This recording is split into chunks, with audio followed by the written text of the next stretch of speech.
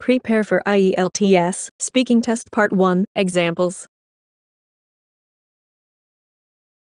Introduction In this video, we will be presenting four different examples of IELTS Speaking Test Part 1 interviews. These examples will help you get a better idea of what to expect on Test day and how to prepare for this important section of the exam.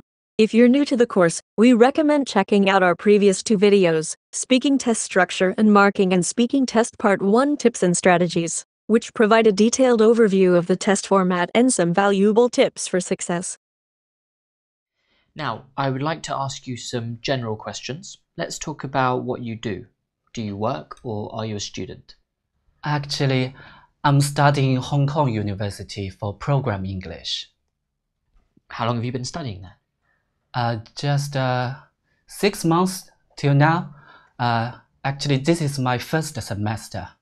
What do you like about studying there? It's a nice place to study there.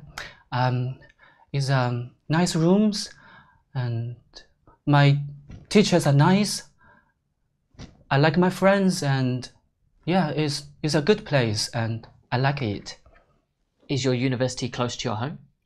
Yes, my home is uh, in five minutes from the college. How do you travel? I travel bus. Um, just ten minutes, but there's much traffic on roads. Now let's talk about food. What kind of food do you like to eat? I like to eat dim sum. It's national food in this country. Why? Because um, it's very delicious and it's traditional. What sorts of new food would you like to try? I'm not sure about that, but Maybe I would like to try some Mexican food, like um, fajita. Yeah. Why? Um, I'm interested in Mexican food because I like the spicy, and I'm interested with these national dishes, uh, and some friends talk about it, and so I'm interested in try this dish. And do you cook for yourself? Actually, uh, not too much. I actually just like to eat. Uh, cooking, I'm I'm not good, and my mother is good. Um, I I'm not cooking. Why not? Uh, I don't like. I I don't know how to cook, and I didn't like to cooking. Do you prefer eating at home or in restaurants? Um, actually, I prefer my mom cooking because it's great cooker, and there's a benefit at home. But sometimes I don't have someone to cook, so I just eat food in restaurant. What type of restaurants do you like?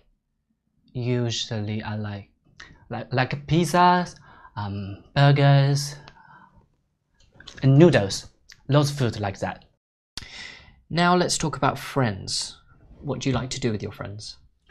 Um, usually going to cinema and watch together film and sometimes have dinner. Why? Because we have good time and we laugh, we talk a lot. Have you kept in contact with friends you had as a child? Not really, because um, we have a lot of chance to get on with new friends in their lives, so no. Why not? Because I come from Shenzhen and now I live in Hong Kong and university in Hong Kong. So I have chance to make lots of friends and I enjoy very much. How do you usually communicate with your friends? Uh, it depends. Um, some I see every day in class or library, so speak to each other. And friends not in Hong Kong, I text my phone and or use online. What do you think a good friend is? Um, I think um, support each other. Like um, I feel sad and um, my friends helps me and ask if I okay or not. Do you work or are you a student? Uh, I'm a student. What are you studying? I'm studying uh, engineering. Why did you choose to study this subject? I don't really know. Uh, my parents thought it would be uh, a good thing for me to study, and uh, I did well at mathematics at high school, so I thought it might be interesting. It's okay, I guess. Have you made many friends on the course? Yes, yes, I, I have. Uh, there are some great guys on my course. Sometimes we get together and study after class and drink coffee, chat, that kind of thing. Let's talk about keeping fit and healthy now. What do you do to stay healthy? Well, I try to watch my diet. Uh, I try to eat healthy foods, you know, fruit, vegetables, but I really love meat too. I think my diet is pretty good. Do you do any exercise? Yeah, sure. From time to time. What kind? well, I try to go to the gym once or twice a week. Uh, and I like going for walks in the evening when it's a bit cooler. How active were you when you were a child? Oh, very active. Yes. I was always uh, playing with my brothers, uh, fighting, wrestling, playing games, you know. How important is it for children to be active? Oh, very important. Uh, nowadays kids just play video games all day.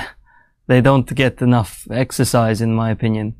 They're just couch potatoes. Now, let's talk about the weather. What kind of weather do you like best? Rainy weather, definitely. Why? Oh, because it rarely rains in, in my region. So when it does, everyone is really happy. And it cools down the temperature too. Have you noticed any changes in the weather recently in your country? Any changes, uh, like climate change? Oh, well, I guess it's changed a little. People say it's hotter than it used to be, but I'm not really sure if that's true. What do you like to do in winter? Well, uh, the winter in my country is uh, quite short. It's nice to get outside and go for a walk. Uh, you can in winter because it's not so hot. Uh, I sometimes go horse riding too. Uh, I belong to a club and I go there uh, a bit at weekends. That's really fun. So, I'd like to begin by asking you some questions about your education. Um, what is the education system like in your country?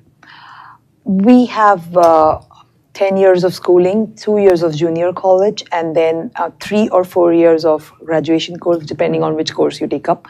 And later, whoever wants to study ahead, they could have their master's done in two, and PhD could take a little longer than that.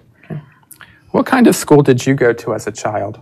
As a child, I went to an English uh, medium school. This is different from a convent school.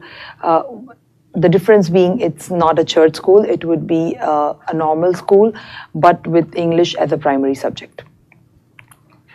What was your favorite subject as a child? Uh, I would say my favorite subject, though it changed over the years, but uh, by and large, mathematics would be my favorite subject. Why? Uh, because I loved numbers and I did pretty good academically in that, so maybe that's the reason. Um, let's discuss traveling. Do you like to travel? Uh, yeah, though I don't get to travel uh, very often. Um, why? Um, it's because of my work, family commitments, and stuff like that. What kinds of places do you like to visit when you travel? Uh, like visiting places which are closer to beaches and uh, which offer me uh, to do some kind of physical activities which would range from hiking or some kind of adventure sports. And um, what is the best place you've ever visited? The one place which I loved uh, and that can come to my mind right now was my trip to Disney. Okay, why? Uh, that's because that was my first trip with my child. Uh, and he was big enough so that he can remember that for the years to come. And like they say, Disney is a magical place. So it indeed turned out to be a magical place for all of us. Okay. And what place would you really like to travel? Um, I would really love to travel someday to Maldives Why? uh, because I love, like I said, I love beaches. So that's one island place. I would love to just be myself, be away from all the uh, hustle bustle of the city life. What are you studying? I'm doing a master's degree in museum studies. Why did you choose that course? I'd like to work in a museum or art gallery one day, and I hope that this course will help me find a job in that sector. Do you think you will remain friends with the people from your course in the future? Yes, uh, I probably will. It's a very small course, and we spend a lot of time together doing group assignments and studying. Okay. Now let's talk about your favourite place. What is the place that you most like to visit? Mm, oh, uh, let me see now. Well, I really like going to the local library. Why do you like it there? Um, I suppose because it's quiet and it has a nice selection of newspapers and magazines. And the range of books is really good too. And there's a cafe next door. How often do you go there? Probably about once a week. Is it easy to travel there? Yes, it is. I can catch a bus from my place to the shopping center where it's located. Is it a popular place for other people to visit? Yes, it is. Uh, a lot of children go there and it's very popular with students and elderly people. Now let's talk about your daily routine. Tell me about a typical weekday for you. My daily routine. Well, I'm a student, so my classes start at 8 and that means so during the week I usually get up about 6.30, um, have a quick shower, get dressed, catch a bus to university. I am always running late, so I don't have time for proper breakfast. I just grab a coffee. Um, I have classes all day and get home at about 5 p.m. And after dinner, I usually try to do some study. Do you work or study better in the morning or the afternoon? The afternoon, definitely. I'm not really a morning person. It takes a while for me to wake up properly. What would you like to change about your daily routine? Change. Um, I suppose I should try to make more time for a proper breakfast in the morning because by mid morning I get really hungry.